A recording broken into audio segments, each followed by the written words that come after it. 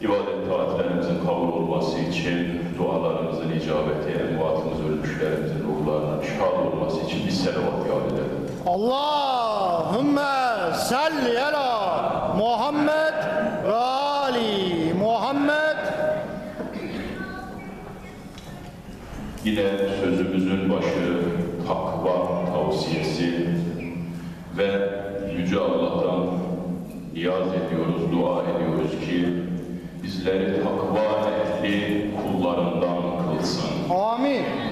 Marifet ehli kullarından eylesin. Amin. Onun emirlerini, yasaklarını, helal haramını hakkıyla, hakikatiyle tanıyabilmeyi ve riayet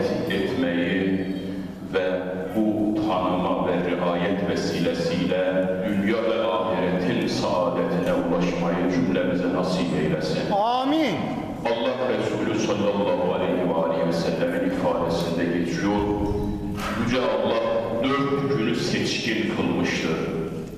Aziz kılmıştır. Bunlardan biri Cuma günüdür. Diğeri terbiye günüdür. Diğeri Arefe günüdür. Öbürü de bayram günü, kurban bayramı. Yani şu anda tam da o Allah Resulü'nün buyurduğu dört gün onun içindeyiz. Bugün Cuma günüdür. Yarın, bugün aynı zamanda terbiye günüdür. Yani Cuma ile terbiye günü, terbiye ne demek arz edecek. Yarın Arefe günü ve inşallah sonraki gün Pazar günü bayram günü. Yani bu dört münasebet şu anda birleşmiş bulunmakta böylesine zaman açısından kıymetli, değerli bir zaman diliminde bulunmaktayız. Ki dualar, salih ameller, ibadetler böyle kıymetli günlerde kat kat katlanır ve bereketi daha fazla olur. Allah Tebarek ve Teala bu günlerin bereketinden, mağfiretinden, feyzinden inşallah azami düzeyde istifade edebilmeyi cümlemize nasip etsin inşallah. Amin. Aynı zamanda İmam Muhammed Bakır Aleyhisselatü Vesselam'ın şehadet Beyt imamlarından Bakırul Ulum lakabıyla tanınan, ilimleri yaran ve Resulullah sallallahu aleyhi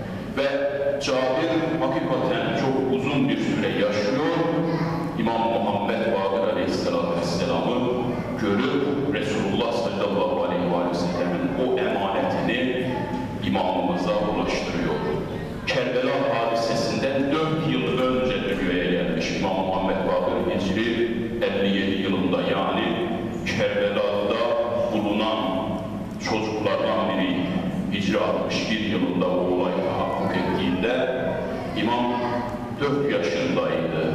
4 yaşında küçük bir çocuktu Kerbela vakfasında. İmam Muhammed Bakır Aleyhisselatü Vesselam e, Ehl-i Beyt imamlarının beşincisi baba ve anne cihetine baktığımız zaman babası İmam Hüseyin'in oğlu İmam Zeynul Abidin. Annesine baktığımız zaman annesi İmam Hasan'ın kızı. Yani bir yönüyle İmam Hasan'a, bir yönüyle İmam Hüseyin'e dayanmaktadır. Ana yönü, ana cihetinden İmam Hasan'ın torunu, baba cihetinden kimin torunu? İmam Hüseyin Aleyhisselatü Vesselam'ın torunu. Allah-u Tebarek ve Teala bu imamımızın inşallah e, ziyaretini, Medine'deki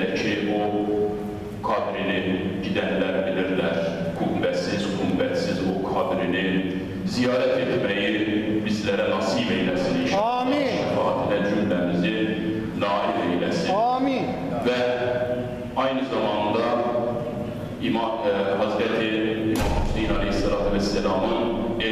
olan Müslüm bin Akil'in de şehadet yıl dönümüdür. Yarın Arefe gününde. Arefe gününde Müslüm bin Akil biliyorsunuz İmam Hüseyin Aleyhisselatü Vesselam Yezid'e biat etmeyip Mekke'ye doğru hareket ettiğinde ve imamın bu tepkisinden Kufe halkı haberdar olduğunda ardı arkası kesilmeyen mektuplar gönderdiler. Rivayetlerde geçiyor bazen bir gün içinde 600 mektup geliyordu. Ta ki mektupların sayısı 12 bine ulaştı. Kufe'den Mekke'ye ulaşan mektuplar. İmam Hüseyin Aleyhisselatü Vesselam bu mektupları görünce bunlara kalması düşünülemezdi. Dolayısıyla Müslüm bin Akil'i Kufe'ye gönderdi. Elçi olarak, kendisinden elçi olarak gönderdi. Müslüm git, Kufe'nin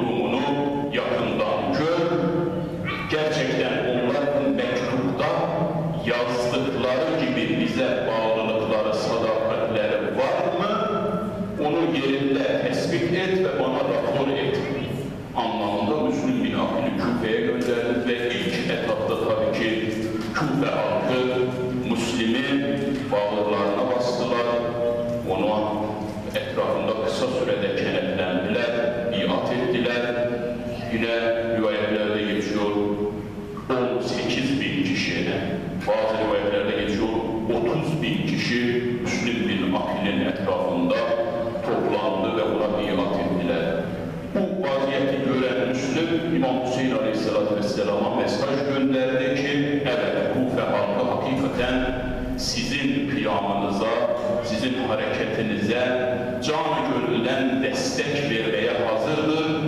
Vakit kaybetmeden buraya doğru gelin. Ve İmam Hüseyin Aleyhisselatü Vesselam Kufe'ye doğru yola çıktı. Tabi yolda Müslüm bin Akil'in şehit olduğu haberini aldı. Küfe halkı daha sonra Übeydullah bin Ziyad'ın Küfe'ye vali olarak atanması ve akabinde Küfe halkını tehdit etmesi dedi ki Şam'dan güçlü bir ordu geliyor onlarla baş edemeyeceksiniz canınız, malınız, ırzınız, her şeyiniz mubah kılınacak ona göre davranın ve kısa bir süre içerisinde bu şayialarla, bu yalan haberlerle kimilerini korkutarak, kabile reislerini rüşvete paraya boğarak Müslüm bin Akil'in etrafından o insanları dağıtmayı başardı. Böyle bir duruma kaldı ki Müslüm bin Akil, o 30 bin kişiden en son gün naklediliyor ki 30 kişi kalmıştı etrafında. Onlar da akşam namazından sonra her biri bir köşeye dağıldı, tek başına kaldı. Küfe'nin sokaklarında hakikaten inanılır gibi bir durum değil. Tek başına kaldı ve nihayetinde Übeydullah unsurları tarafından yakalanıp, tutuklanıp, şehit edildi. Allah-u Tebarek ve Teala onun da şefaatini cümlemize nasip eylesin inşallah. Amin. Bugün terbiye günü. Ne demek terbiye günü? Yani Arefe'den bir gün önce, Arefe gününden bir gün önceki güne terbiye günü diyorlar. Terbiye sulamak anlamına geliyor. Su vermek anlamına geliyor. E eskiden Arafat bölgesine bugünkü olanaklarla bugünkü gibi su çekilmemişti. Su falan o kadar yer yoktu. Dolayısıyla oraya giden hacılar ne diyorlardı? Bugünden itibaren su falan tedarik ediyorlardı. Hem hayvanların merkeplerini suluyorlardı, yanlarına, kırbalarına su dolduruyorlardı ve dolayısıyla buna binaen bu güne yani aslında Arafat, Arafat'a hazırlık günü anlamına geliyor terbiye günü. Çünkü kelime anlamı da oradan geliyor. Terbiye sulama, su vermek. Su hazırlığı hazırladıkları için Arafat, Arafat'a götürmek üzere. Bu yüzden bu isim verilmiştir. Hacıların Arafat'a doğru hazırlandıkları bir gündür terbiye günü. Bugün de orada bulunan hacılar şu anda eşyalarını, yüklerini, sepetlerini hazırlıyorlar ve araçlar hareket edecek. Bugün Arafat'a varmış olacaklar. Tabi esas hac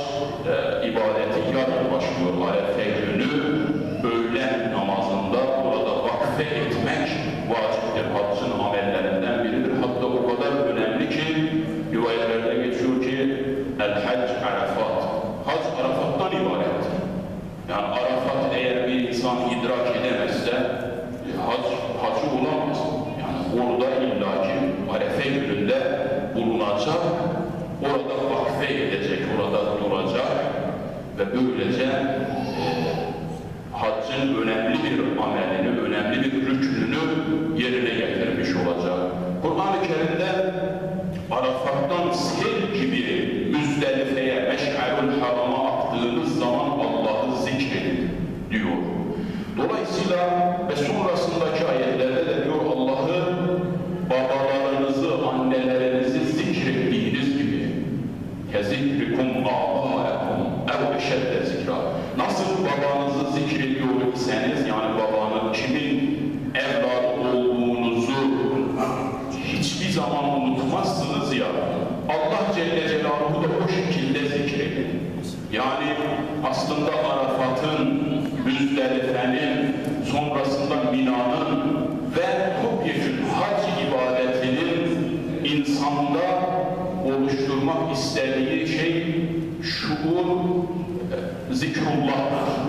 Şuurullah nedir? Yani teyakkuz hali, insanın gafletten çıkması. Çünkü insanın başına ne geliyorsa gafletinden geliyor. Gafil olan insan hata yapar.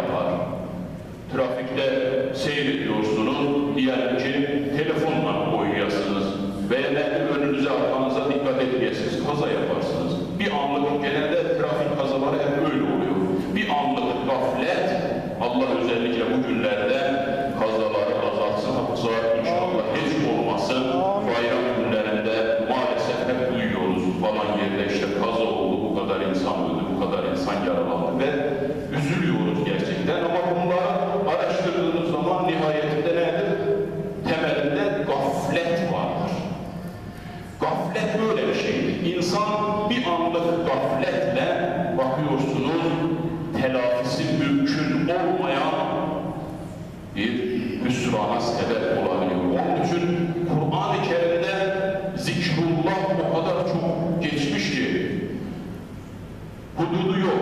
Yani bu kadar zikret artık yeterlidir demiyor Rabbimiz. Cuma günesi suresi ki her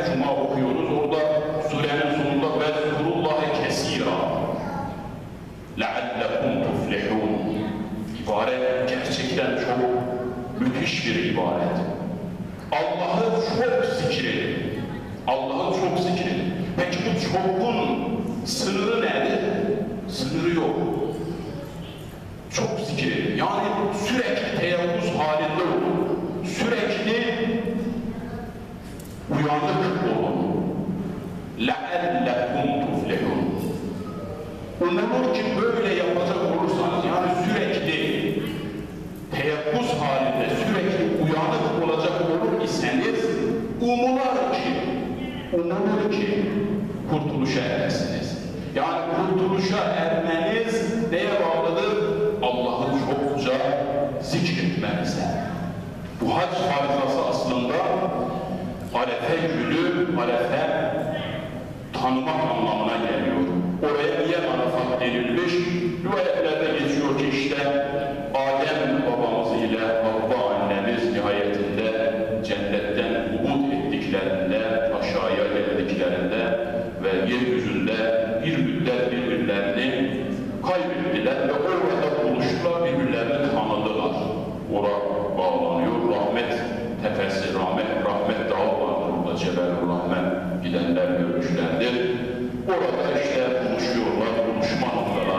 aşma noktaları. Dolayısıyla onun için buraya Arafat, Arafat denildiğinden söz ediliyor. Arafat kelimesi tanımak anlamına geliyor. Yani Arafat'a giden hacı orada tanımalıdır. Neyi tanımalıdır? Kendisini tanımalıdır. Rabbini tanımalıdır.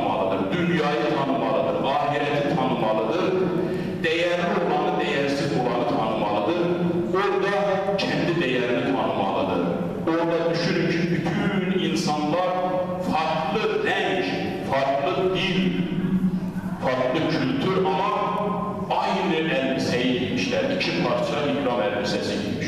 Herkes beyaz elbise içerisinde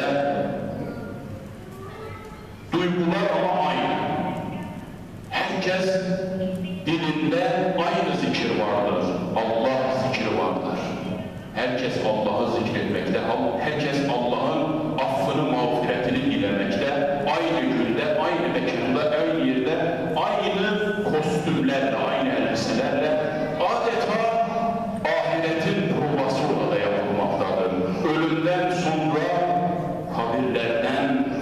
çıkışın provası orada yapılmaktadır. Gerçekten muhteşem bir e, sahne, muhteşem bir yer ve muhteşem bir ibadettir.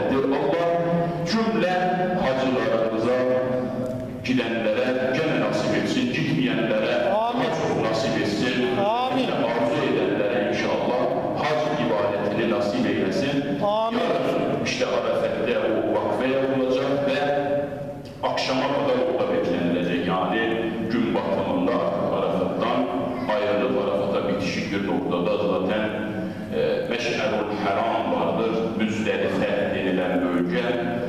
Geceyi orada geçirecekler. Yani yarın gece hacılar nerede olacaklar? Müzdelife'de olacaklar. Ve orada o şeytanı taşlamak için taşlarını toplayacaklar orada Müzdelife bölgesinde. Geceyi orada geçirecekler. Akşam yatsı namazlarını birleştirerek bütün hacılar öğle ile ikindiyi Arafat'ta birleştirerek kılıyorlar. Akşamla yatsıyı nedir? Müzdelife'de bütün hacılar hangi mezhepten olursa olsun Malikisi, Hanbelisi, Şafiisi hepsi bütün Müslümanlar bu iki noktada ne diyorlar? Namazlarını birleştiriyor. Öğle ile ikindi, akşamla yatsı namazlar birleştirilerek kılınıyor. Ve sabah olduğunda yani bayram sabahı olduğunda şafak artık söktüğünde sabah namazı kılındığında harekete geçiyorlar. Bu sefer Mina'ya doğru.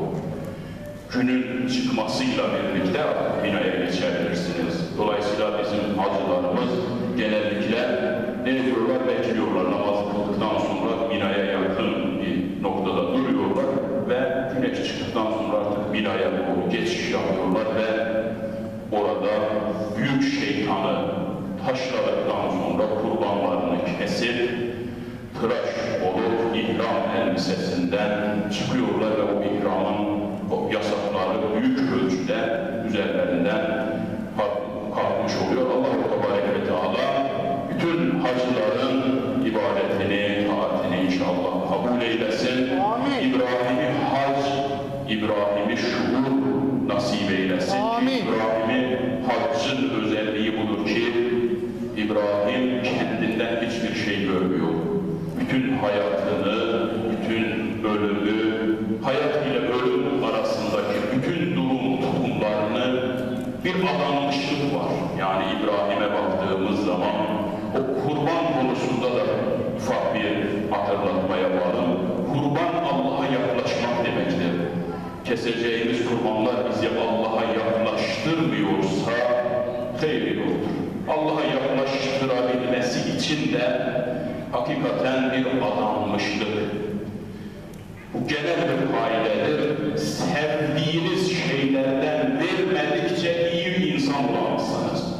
Benim evde ihtiyacım olmayan bir malzeme var. Ya onu götür fakire. Ha yok o seni bir yere ulaştırmaz.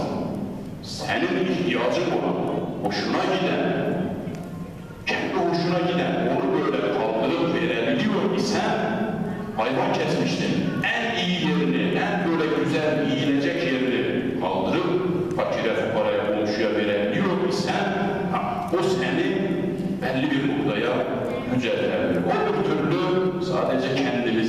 او پوش کندی به علامت می خورده